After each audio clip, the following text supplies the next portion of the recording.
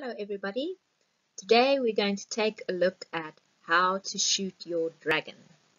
And this is specifically taking a look at how you can contribute your photographs to Odonata Map, which is the African atlas for Odonata or dragonflies and damselflies. So, first thing you need to prepare, to prepare yourself for battling your dragons is patience, enthusiasm, and of course, a camera. And when we say camera, don't panic because we don't mean that you need a really big fancy uh, DSLR camera. You can use a point and shoot, you can use your cell phone.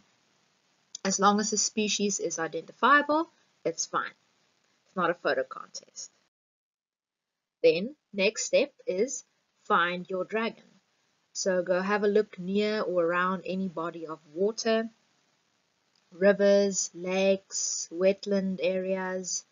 Um, but surprisingly, not all dragonflies or, or damselflies are found near water. Sometimes you can find them quite far away from water. But um, yeah, any natural or man-made water body is always a good point to start. Then step two, shoot your dragon.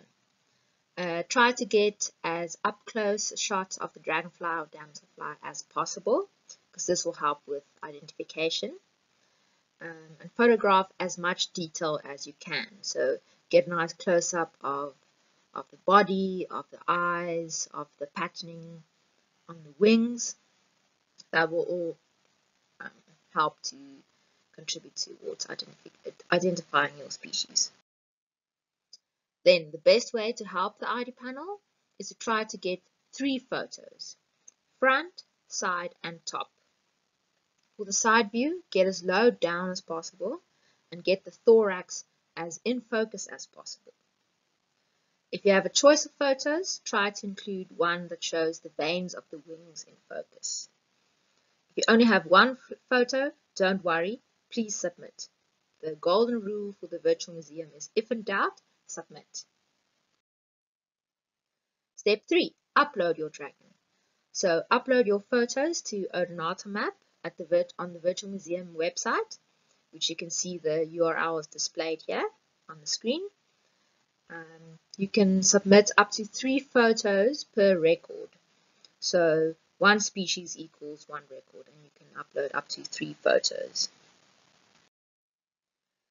Um, we've also we also have a guide uh, available to show you just how exactly the process works of uploading your photos in the virtual museum and I'll post the link to that underneath this uh, video so just go take a look um, under this video and you'll find the link there. Thank you, I hope that was useful.